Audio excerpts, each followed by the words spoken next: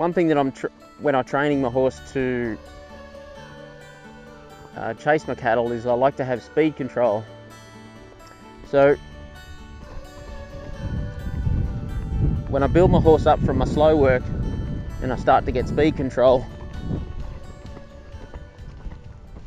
I'll extend my horse out into a hand gallop and then as I want her to slow down I'll sit back in my saddle and slow her down. Get her to collect up again and relax. Same again.